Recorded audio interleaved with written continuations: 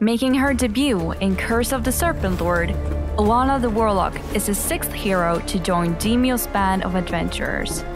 Always accompanied by her trusty Ostacat, Alana has some incredible tricks up her sleeve that no other spellcaster has brought to Demio so far. Curse of the Serpent Lord releases as a free update on both VR and PC on June 16th.